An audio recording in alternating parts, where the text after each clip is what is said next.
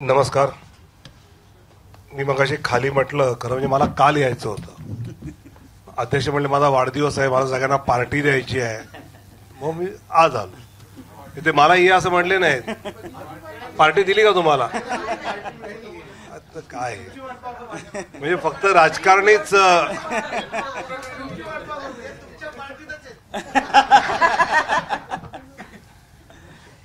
आमच्या पार्टीत पण संकर्षण कराड्याची कविता.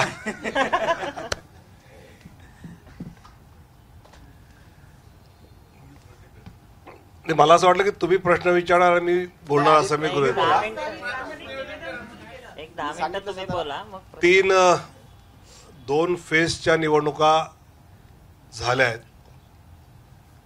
तिसरी फेज आता सात तारखेला होईल. तर या पहिल्या ज्या दोन फेज झाल्या आहेत त्यामध्ये गेल्या वेळेच्या तुलनेचा जर विचार करायचा झाला तर गेल्या वेळी पहिल्या फेजमध्ये एकवीस राज्यात एकशे दोन जागांच्या निवडणुका झाल्या होत्या ज्यात सत्याहत्तर भारतीय जनता पक्ष लढला होता. आणि पंचवीस आमचे मित्रपक्ष लढले होते. तर अशा एकशे दोन पैकी भारतीय जनता पार्टी चाळीस जागांवर जिंकली होती फेज एकला. फेज दोनला तेरा राज्यांमध्ये एकोणनव्वद जागांना मतदान झालं. ज्यातल्या एकाहत्तर भारतीय जनता पक्ष लढला होता आणि आमचे मित्रपक्ष अठरा लढले होते. त्यापैकी आम्ही अठ्ठावन्न भारतीय जनता पक्ष जिंकला होता. आणि आता तिसऱ्या फेजला जे मतदान होईल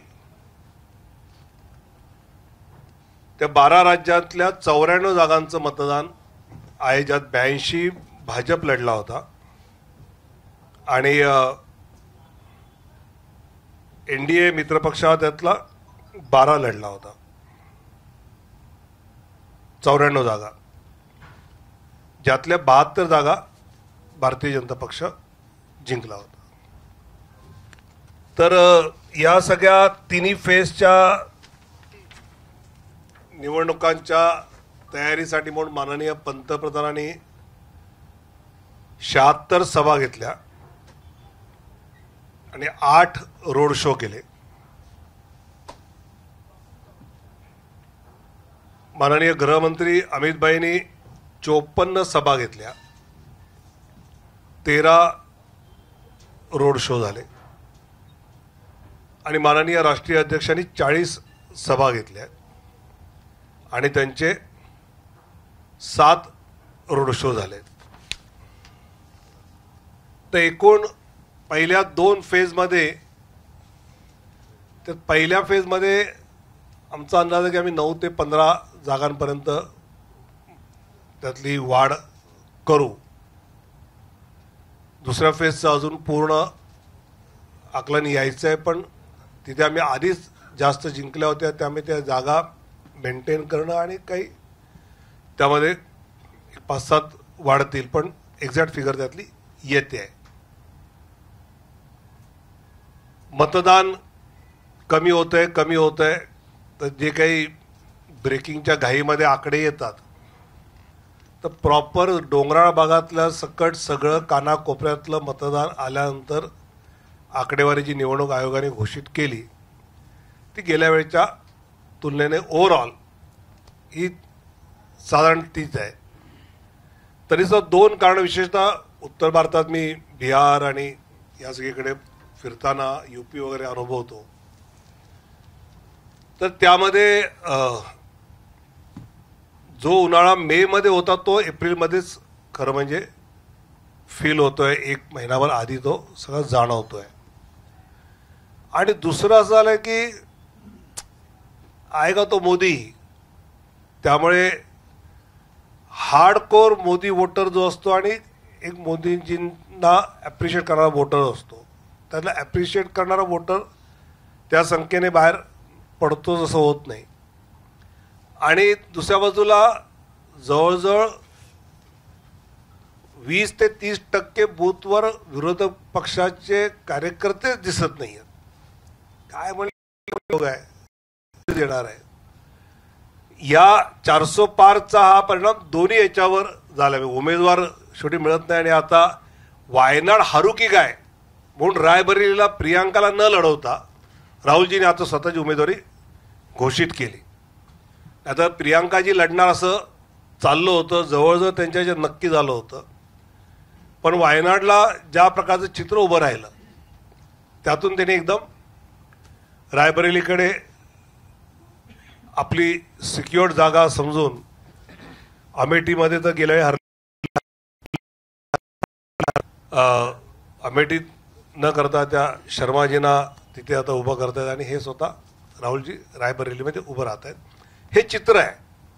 मी अनेक उमेदवार जर आपण काँग्रेसचे विशेषतः पाहिले तर लढायला इच्छुक नव्हते. पण त्यांना आता लढलं पाहिजे असं सांगितलं गेलं. तर हे चित्र चारशे पारच्या जो काही नारा सुरू आहे त्याला धरून देशभरामध्ये आपण नक्की पाहतोय. आणि या सगळ्या याच्यामध्ये भाजपच्या मतदाराला आम्ही आवाहन केलंय की जागा येईल पण ती चांगल्या लीडने येणं. आणि आपला मोदींसाठीचं आपलं योगदान हे झालं पाहिजे. यासाठी चांगल्या संख्येने मतदान करा असं आवाहन आम्ही मतदारांना करतोच आहोत.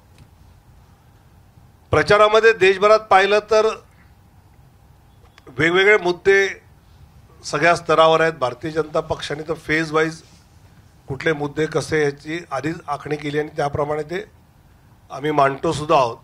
त्या त्या राज्यांच्या मतदानाला अनुसरून ते मुद्दे हे त्यातले स्वाभाविकपणे पुढे येत आहेत. काँग्रेसकडनं एक प्रयत्न चालला आहे की भारतीय जनता पार्टी घटना बदलणार आणि म्हणून त्यांना चारशे पार पाहिजेत. अशा पद्धतीचा एक प्रचाराचा ते प्रयत्न करतायत पण त्यालाही तसंच उत्तर मीडिया इलेक्ट्रॉनिक मीडिया सोशल मीडियामधनं मोठ्या प्रमाणावर नेते देत आहेत कार्यकर्ते देत आहेत की ज्यावेळी घटना निर्मितीला साठ वर्ष झाली त्यावेळी नरेंद्र मोदीजी गुजरातचे मुख्यमंत्री होते तर त्यांनी गुजरातमध्ये घटनेची हत्तीवरनं मिरवणूक काढली ते पुढे चालत होते. भारतीय जनता पक्षाने आपलं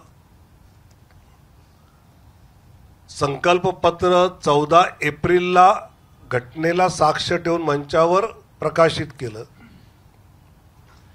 काँग्रेसने ऐंशी वेळा घटना बदलली.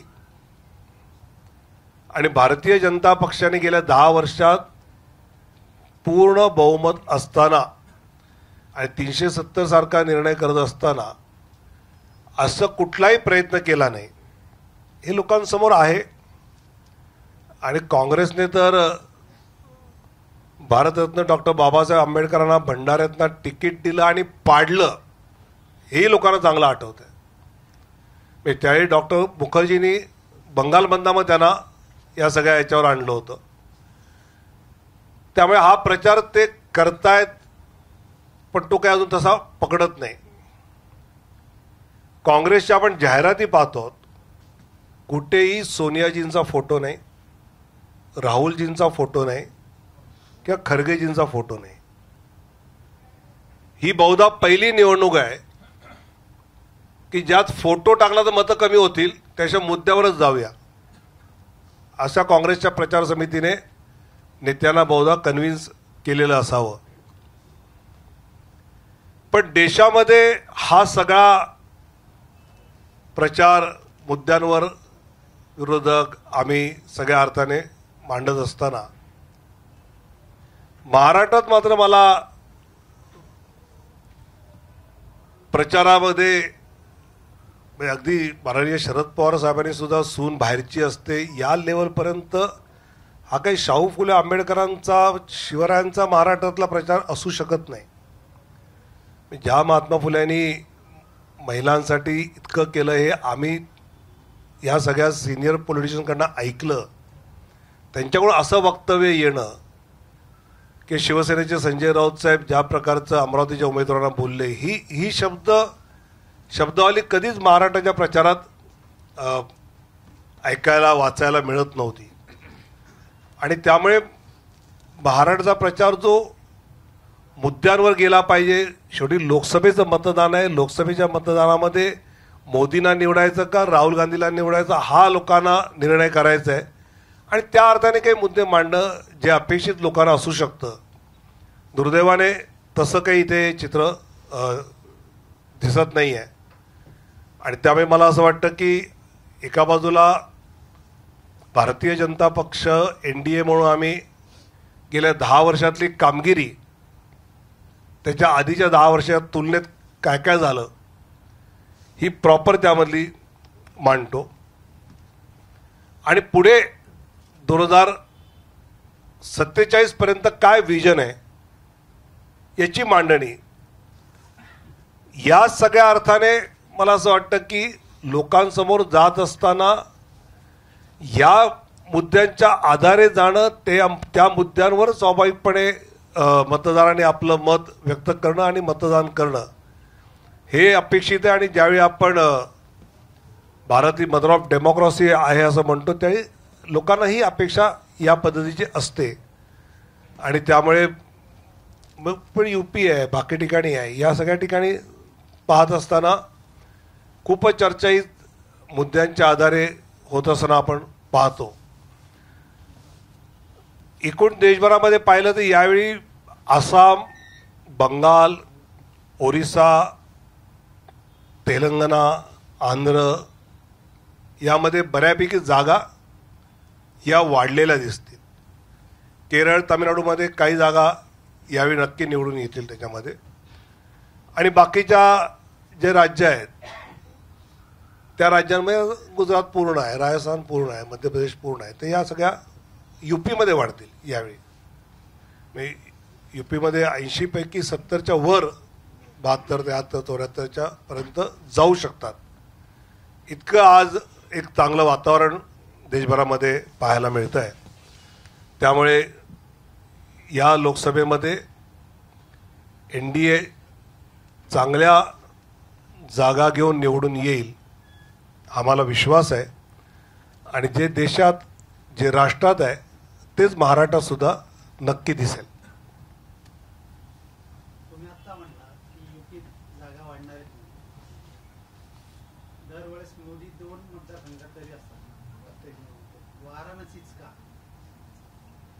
दोन महिने कुठे? चौदाला होते. एकोणीसला दोन महिने नव्हते पण आता जे आहे त्यांनी जो गुजरात सोडून आता ते वाराणसीमध्ये एकदम त्यांनी जे पूर्णपणे आता पकड केलेली आहे तुम्ही सुद्धा जाहीर करताना वाराणसीत असं काय बघितलं की आता आपल्याला आता युपीतच गरज मोदींना वाराणसी मतदारसंघाचा पूरक का ठरला. नाही मला असं वाटतं की एकदा निवडून आल्यानंतर त्यांनी जर ठरवलं की बा उत्तर प्रदेश सारख्या प्रदेशातून आपण खासदार म्हणून निवडून यावं तिथल्या लोकांशी त्यांचा एक कनेक्ट चांगला पद्धतीने झालेला आहे. मी अगदी ते ठरवून गेले वर्षभरात दर महिन्याला एक आमच्या बूथ प्रमुखांनी यांच्यावर टिफिन बैठक करणं अशा याच्यावर ते कनेक्टेड आहेत. त्यामुळे वाराणसी काय अमुक एक कारणाने आहे असं नाही तिथे गेले आहेत निवडून येतात त्यामुळे पुढे तिथे आहे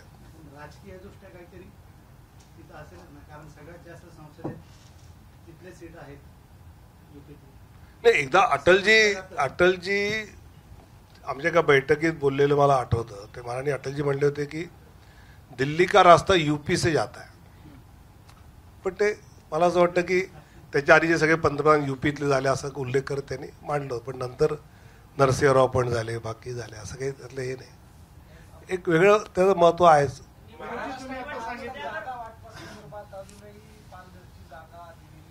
झाली झाली झाली काल रात्री. तुम्ही चॅनल इलेक्ट्रॉनिक चॅनल एवढं रागावर होता का हो? ते बघत चला. हा निवडणूक निवडणूक मुद्द्यांवर व्हावी असं म्हणतो आपण म्हणतात ती आत्मा एकीकडे दुसरीकडे अं, उद्धवजींबद्दल की उद्धवजींबद्दल माझ्या मनात राग नाही एक सॉफ्ट स्टेटमेंट पंतप्रधानांचं आलेलं आहे आणि भविष्यातल्या काही गोष्टींचे संकेत आहेत कारण अं, नितीश कुमार किंवा ऑपरेशन लोटस जे झालं त्यांना परत आणण्यामध्ये तुम्ही खूप प्रमुख भूमिका ती निभावलेली आहे काय नेमकी महाराष्ट्रातली कारण महाराष्ट्रामध्ये जी परिस्थिती आहे ती बघता अं, काही अंदाज आलाय भविष्याचा वेग झालाय आणि त्यामुळे असं काही दिसत नाही मला एक प्रश्न म्हणजे लोकसभेनंतर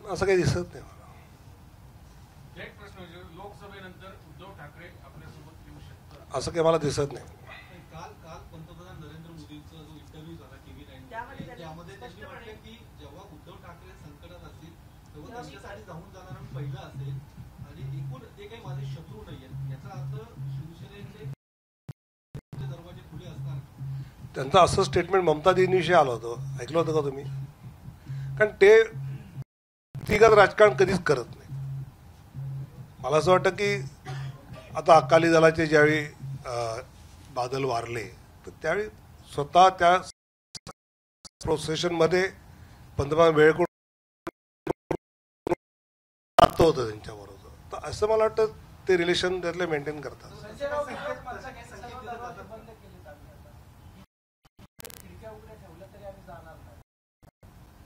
मग बोलवलं कोणी?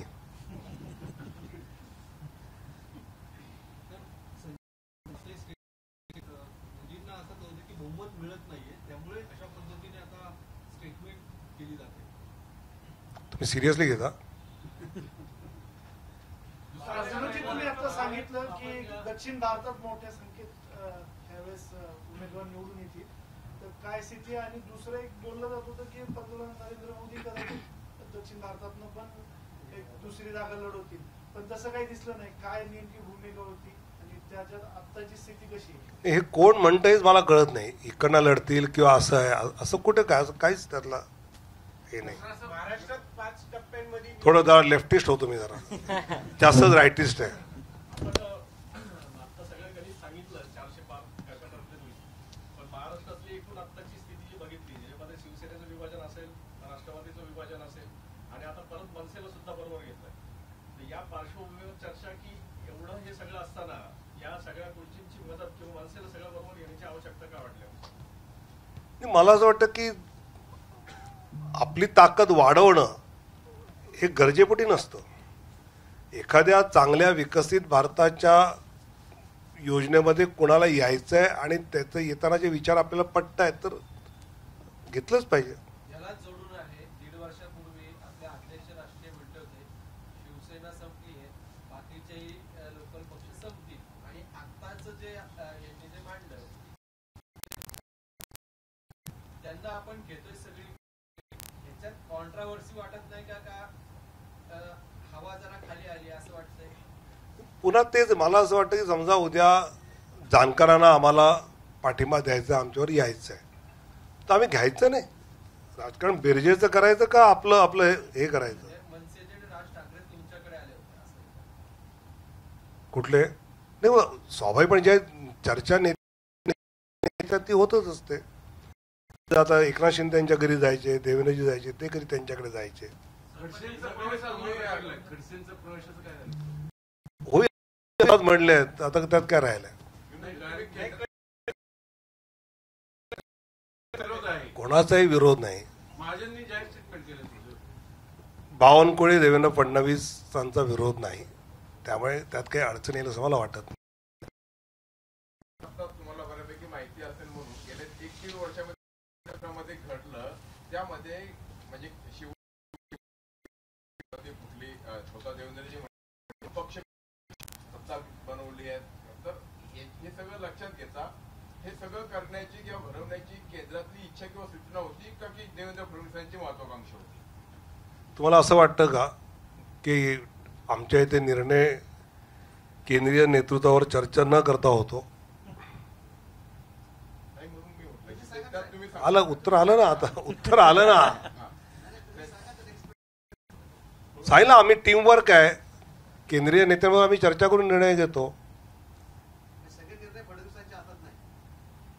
अहो कुठल्या म्हणजे बिहारचा सम्राट चौधरीचे आता सगळे निर्णय नसतात. मी मी मी राष्ट्रीय सरचिटणीस आहे ना. मला काय वाटतं की पुन्हा आता तुमचं ना रा राज्यातल्या राजकारणासारखं झालंय. पुण्याच्या पत्रकारांचं एक ज्या स्तराचं आहे की नाही की मला असं वाटतं की एक काहीतरी वाक्य घेतं आणि ते चालवलं यात काही मजा नाही. आपला थॉट काय आहे? तर थॉट भारतीय जनता पार्टीच्या प्रत्येक प्रदेशाचा नेतृत्व केंद्रीय नेतृत्वावर चर्चा करूनच निर्णय घेतं. अजून तरी तसंच आहे. म्हणजे जे काही राजकारण आहे असं देखील बघितलं जातं. कारण त्यांना कधीतरी मुख्यमंत्री पदापासून दूर व्हावं लागलं होतं मला असं वाटतं की देवेंद्रजींच्या सुडाचं राजकारण अजिबात नाही नाहीतर ते मुख्यमंत्री झाले असते. हो म्हणजे पक्षाने घेतलाच ना. मला असं वाटतं की जर युती म्हणून तुम्ही लढता युती म्हणून लढल्यानंतर तुम्हाला मतं मोदींच्या नावाने तुम्ही घेता. आम्ही पण बाळासाहेबांच्या नावाने काही मतं नक्की घेतली असणार. आणि मग तुम्ही नंतर सत्तेसाठी युती जी आहे ती तोडून जाता ही जी गद्दारी आहे त्याचा पूर्ण समाचार घेणं ह्याला सूड नाही म्हणत. तुम्ही लोकांशी गद्दारी केली आहे. आणि लोकांशी जी तुम्ही गद्दारी केली त्याला कुठे ते धडा शिकवलाच पाहिजे ना. म्हणजे तुम्ही जर आकड्याचं गणित करता तर मग आम्ही आकड्यांचं गणित करतो. आम्ही विचारावर युती केली विचारावर मतं मागितली विचारावर मतं मिळाली विचारावर आपण सरकार बनवलं असतं. पण तुम्ही आकड्यावर गेलात तर आम्ही आकड्यावर गेलो एक प्रश्न असा होता की नऊ खासदारांची तिकीट कापली जे मोदींच्या नेतृत्वात काम करत होते. आणि काही खासदार जे मोदींच्या नेतृत्वात काम करत होते त्यांनी तिकीट दिल्यानंतर ही नाकारली. तर ही तुम्ही म्हणता की पक्षीय निर्णय असतो वगैरे तर हे नाकारायचं किंवा तिकीट कापण्यामागचं नेमकं गणित काय आपण मला माझंही कापलं गेलं होतं. मग मी आज इकडे आलो. नाही, नाही, त्याचे हे उत्तर होऊ शकत नाही पण नेमकं काय माझं पण माझं हे उत्तर आहे ना तुमचं उत्तर तुम्ही द्या आम्हाला चालेल.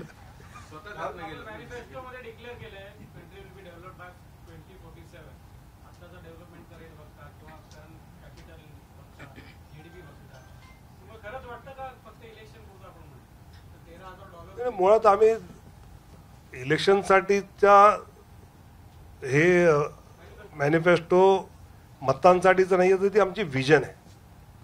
मला आठवतं पावणे दोन वर्षापूर्वीची घटना असेल हैदराबादला आमची राष्ट्रीय कार्यकारिणीची बैठक होती. आणि मी या त्याचवेळी आम्ही लोकसभा प्रवास योजना सुरू केली ज्यात एकशे साठ लोकसभा गेल्यावेळी ज्या आम्ही हरलो होतो त्याचं काम आम्ही त्यावेळी सुरू केलं होतं आणि त्या मी संयोजक होतो अखिल भारतीय स्तरावर.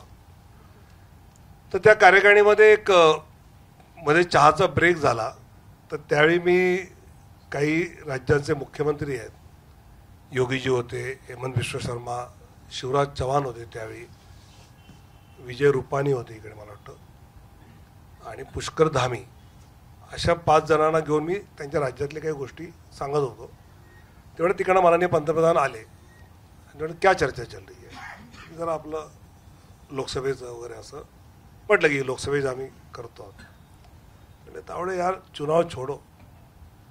2047 में देश कैसा होगा इसकी चर्चा करो और इसका इनपुट दो बोले।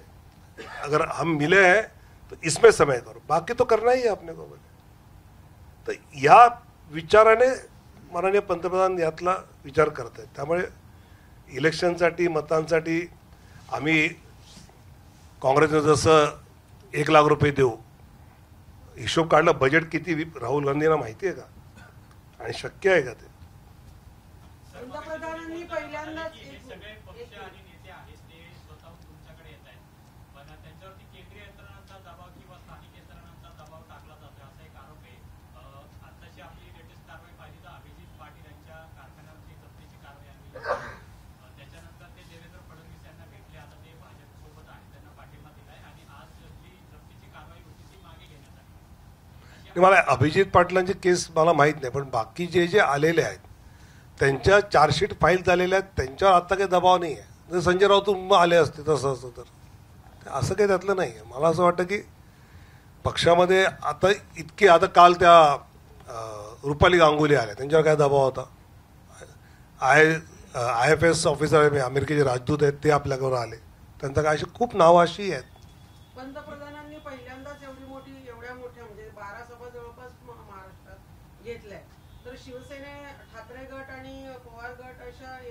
त्यांना जी मिळणारी सहानुभूती आहे त्याचं कुठंतरी टेन्शन भाजपला आलंय का एवढ्या मोठ्या सभा गेल्या वेळी पण इतक्याच घेतल्या होत्या.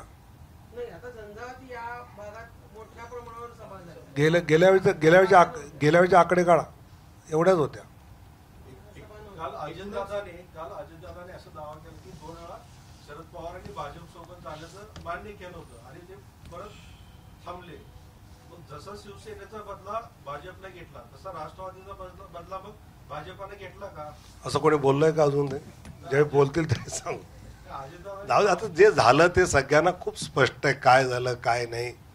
कधी दादा बोलले कधी पवार साहेब बोलले कधी देवेंद्रजी बोलले कधी उद्धवजी बोलले. मला असं वाटतं की या सगळ्यामध्ये सगळ्या गोष्टी स्पष्ट झालेल्या आहेत. त्यामुळे त्यावर अजून काही वेगळं भाष्य केलं पाहिजे असं नाही. पंकजाताई म्हणतात की मला राज्यातच राहायचंय. आता त्यांना तुम्ही तिकीट दिले केंद्रात तेव्हा मला तिकीट माझी इच्छा नव्हती मला लढवलं तरी पण कोण? मला राज्यातच पंकजाताई. हम्म. ते म्हणतात मला राज्यातच राहायचं जरी मी पण खासदार झाल्यानंतर राज्यात राहता येत नाही असं कोण म्हणलं केंद्रीय राजकारणात आता सी पी जोशी आमचा राजस्थानचा अध्यक्ष आहे खासदार आहे पण राजस्थानचं सरकार निवडून आणलं त्याने मग महाविकास मुस्लिम रिझर्वेशनबद्दल जी मोदींनी भूमिका जाहीर केली आहे ती एक्झिस्टिंग रिझर्वेशन बाबत पण असणार आहे का का नव्याने जी मागणी होतीये फक्त त्याच्या दृष्टिकोनात नाही बोल- बोललं जातं कर्नाटकने जे केलं त्याच्यावर मोदींनी आपलं वक्तव्य केलं. किरीट सोमय्यांनी ज्यांच्यावर आरोप केले सगळी उमेदवारी त्या- त्यापैकी भरपूर लोकांना उमेदवारी दिली. आता तुम्ही कसं बघता? मी मगाशी म्हटलं असं की त्यांच्यावर चार्जशीट फाईल झालेल्या आहेत बरोबर?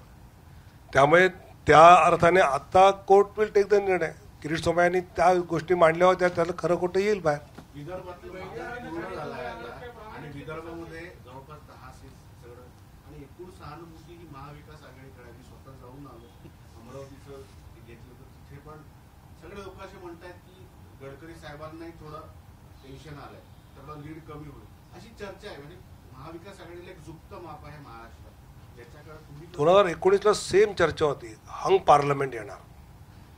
सेम दोन मोठ्या एक चॅनलचे आणि पेपरचे संपादक यांनी महाराष्ट्र दौरा करून त्यांचे रोज यायचं. ते माझ्या मित्राचं मी मला भेटीत म्हणायला की हे अवघड आहे. इतकं सोपं नाही.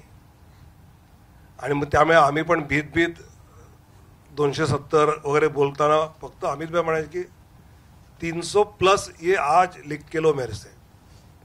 आणि खरंच झालं.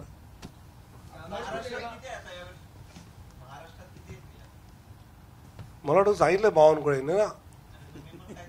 मागच्या वेळेस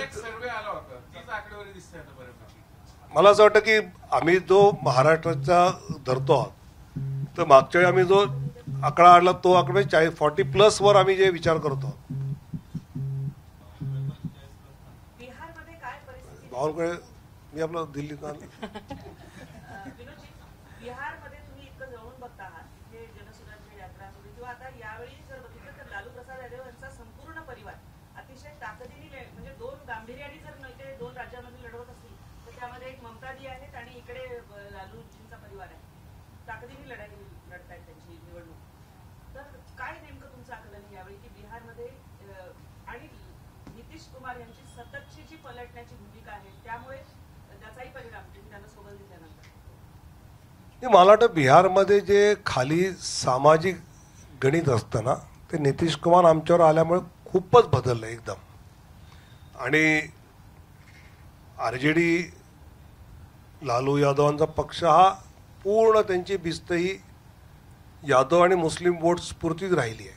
आणि ते त्याच्या भोवती त्यातलं फिरत आहेत त्यामुळे ते यश ते यशाचं गणित बनतच नाही आहे मतांचं त्यांचं. नाही आहेत. उलट अररिया किशनगंज सारख्या मुस्लिम कारण हे बांगलादेशला लागून सगळे मुस्लिम बहुल मतदारसंघामध्ये यादव इंडियाला वोट करतो आपण अं, मगाशी म्हणाला होता प्रज्वल रेवण्णांसारखा जेव्हा मुद्दा येतो विनोदजी प्रज्वल रेवण्णांसारखा जेव्हा मुद्दा येतो अं, तेव्हा मग किती अडचणीचं होऊन जातं हे सगळं मला वाटतं की प्रज्वल रेवण्णाच्या मुद्द्यामध्ये कर्नाटकच्या मुख्यमंत्र्यांनी निवडणूक होऊन तो जाईपर्यंत हा विषय का थांबवला होता? तो वोकलिगा मतं पाहिजे होती म्हणून. त्याच्यावर कोणीच विचारत नाही. त्यांच्याकडे तीन महिने आधी होतं. हे त्यांचेच लोक सांगतात. पण तो आधी का नाही आला मुद्दा. हा विचारला पाहिजे त्यांना. आणि आम्ही तर क्लिअर सांगितलं या विषयामध्ये. अमितबाईंनी तर त्यानंतरच्या भाषणातली सगळी वक्तव्य आहेत की अशा प्रकार महिलांवरचे अत्याचार तर आम्ही कदापि सहन करणार नाही. त्यांना त्यांनी ॲक्शन पण घेतली. महाराष्ट्रात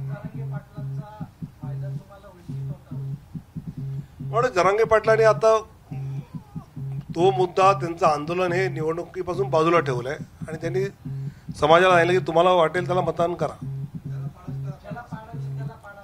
बस.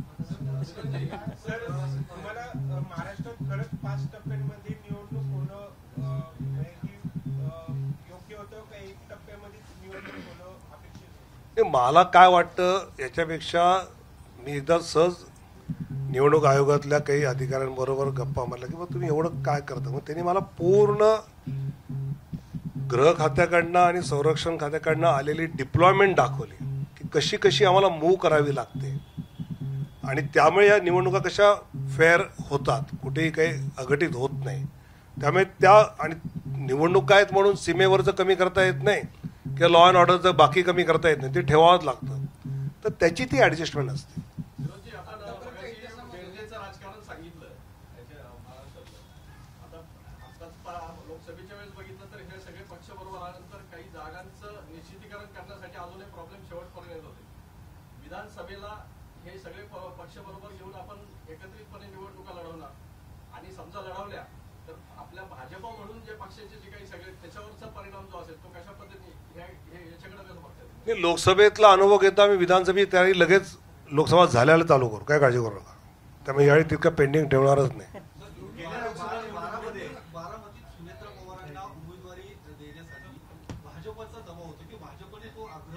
अजितदादा कोणाचा दबाव ऐकतात का हो? शरद पवार साहेबांचा नाही ऐकला. काय पण तुम्ही तू पुण्यातला पत्रकार अजितदादा ओळखत नसतील.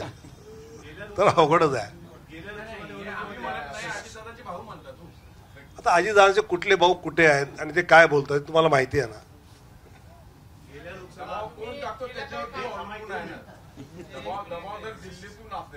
मग तुम्ही अजून अजितदादांना ओळखलं नाही.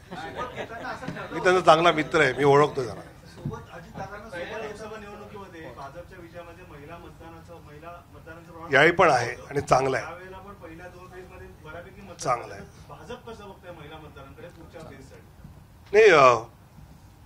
सगळ्याच फेजमध्ये या निवडणुकीत महिला मतदार आणि फर्स्ट टाइम वोटर हा मोठ्या संख्येने मोदींच्या सगळ्या कार्यशैलीवर सगळ्या विकसित भारतच्या संकल्पनेवर चांगल्या म्हणजे मी तर बिहारमध्ये पाहिलं की घरातल्या पुरुषाने सांगितलं की इकडं मत द्यायचं आहे पण तरी महिलांनी मोठ्या प्रमाणावर भाजपला मतदान केलेलं आहे. आणि ग्रामीण भागात बिहारमध्ये असं होणं ही खूप मोठी गोष्ट आहे.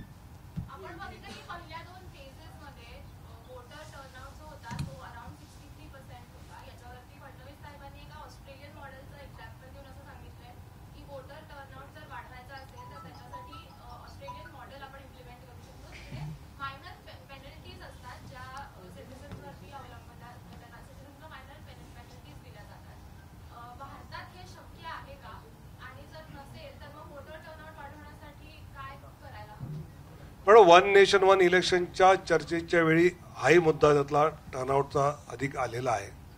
त्यामध्ये नोटाही असेल पण ॲडिशनली काही त्यात करता येऊ शकतं का? असे काही सजेशन त्याच्यासह आलेले आहेत.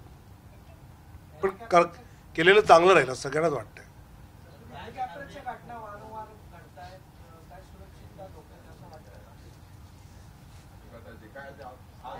अंधाऱ्यांचं क्रॅश झालेलं आहे दोन दिवसापूर्वी शरद ते मला असं वाटतं की थोडं जसं आता आज मी इथून अक्कलकोटला जाणार आहे. तर पायलट मला सांगितलं की साहेब ऊन खूप आहे. त्यामुळे पॅसेंजर पाचच्या ऐवजी तीनच करा. म्हणजे रिस्क नाही आहे. पाच सीटर आपण जाऊ शकतो. तर मला वाटतं थोडं राजकीय नेत्यांनी सुरक्षेच्या सूचना जर काही पायलटच्या असतील तर त्या थोड्या अधिकच पाळल्या पाहिजेत. कारण शेवटी हेलिकॉप्टरचं उडणं हे आणि असणारा उन्हाळा याच्या खूप त्याचा परिणाम असतो. आणि त्यामुळे आमच्यावर प्रेशर असतं तिथले कार्यकर्ते वाट बघतायत तिथे गेलं पाहिजे. त्या दोन पत्रकार बरोबर घेतलेच पाहिजे. मग पुन्हा एक कमी केला तर पुन्हा त्याचं काय? मग हे नको. त्यामुळे पत्रकारांनी सुद्धा कमी जायचा. आग्रह धरलेला बरा. चला आता नाश्ता करत गप्पा मारूया ना ते झालं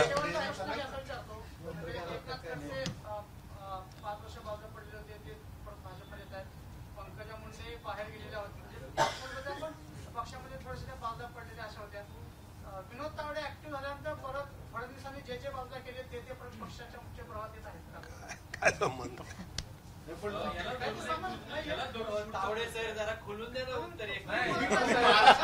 खोलून द्या म्हणजे तुम्ही ना.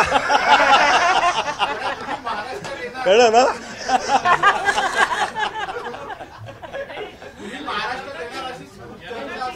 मी महाराष्ट्रात येणार नाही. ओनली राष्ट्र नो महाराष्ट्र.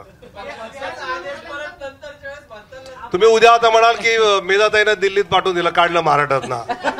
त्या इथेच ऍक्टिव्ह आहेत कोथरूडमध्ये आणि पुण्यामध्ये.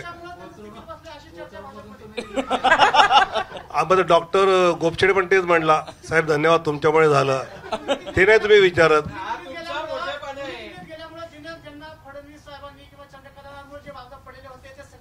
अच्छा अशोक चव्हाण अशोक चव्हाणचं मीच. ते बाजूला पडलं. काय? ते पुन्हा सांगतो असं आहे हे बघा. राज्यातील नेतृत्व तिकिटांच्या शिफारसी करत असतं आणि तिकडे चर्चा होते. इथून वर पाठवलं आणि तिथनं हो नाही हो आला असं कधीच होत नाही. आणि देवेंद्रजी तर इतके सिनियर आहेत ते स्वतः इलेक्शन कमिटीचे मेंबर आहेत. त्यामुळे महाराष्ट्र मध्य प्रदेश राजस्थान त्यानंतर गुजरात या सगळ्या राज्यात तर त्या लिडरशिपबरोबर नीट चर्चाच होत असते त्याच्यामध्ये. बाकीच्या राज्यातही होत असते पण कधी कधी ओव्हररूल करावं लागतं. पण नॉर्मली महाराष्ट्र या विषयामध्ये ओव्हररूल कधी होत नाही. चर्चा होतच होते. वेळ लागतो वेळ घेतो पण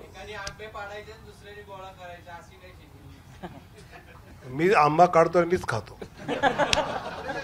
कोकणातला माणूस आहे मी केवलजी, अ, राजस्थान आणि हे इतकं बिहारचं मध्ये सगळं चालू असताना चंदीगडची एक महापौर सीट खरं म्हणजे एवढी तुम्हाला इतकी महत्वाची का वाटली की तिथे जाऊन ऑपरेशन मुळात असं आहे की अजून सुप्रीम कोर्टाचा पूर्ण हिअरिंग त्यातलं पूर्ण व्हायचं त्यामुळे त्या ह्याच्यावर मी बोलत नाही.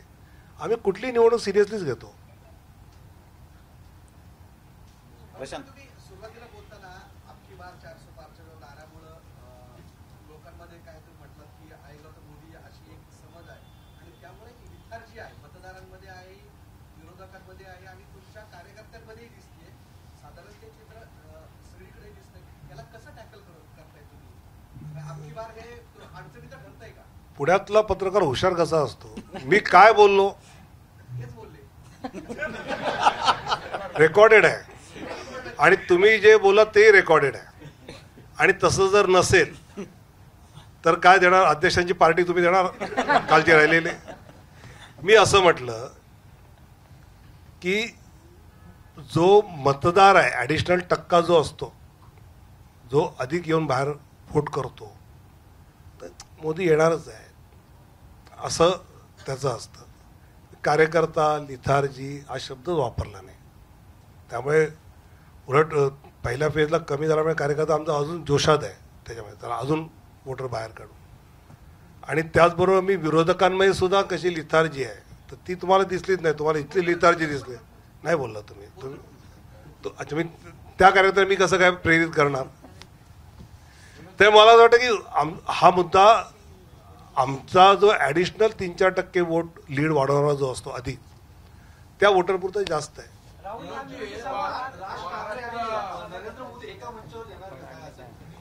मला ठरवतील आता. म्हणजे पाठिंबा दिला तर येतीलच.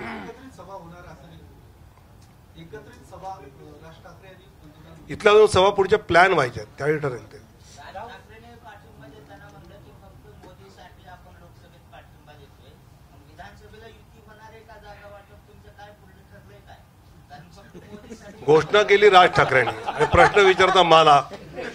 याला काय अर्थ आहे.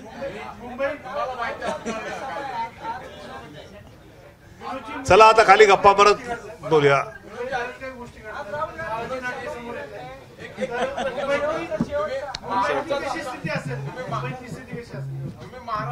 मुंबई सहाच्या सहा.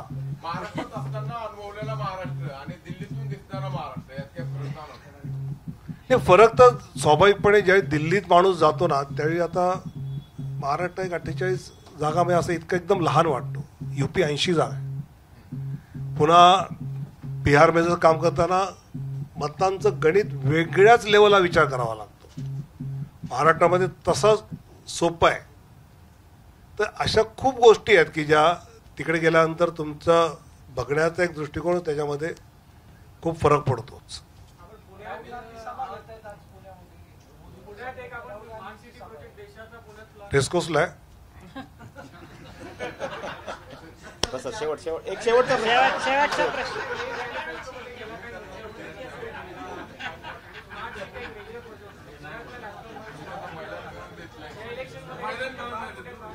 यावेळी आम्ही त्यांना व्हिजन जास्त मांडली आहे फॉर्टी सेवनची यावेळी अमुक करू तमुक करू तमुक करू हे आम्ही खूप कमी ठेवलं. आम्ही व्हिजनवर जास्त यावेळीच्या आमच्या संकल्पपत्रामध्ये जोर आहे रेस कोर्स पूर्ण भरलं नव्हतं अर्धच होतं थोडं बरं वाटेल बाकीच्यांना बस.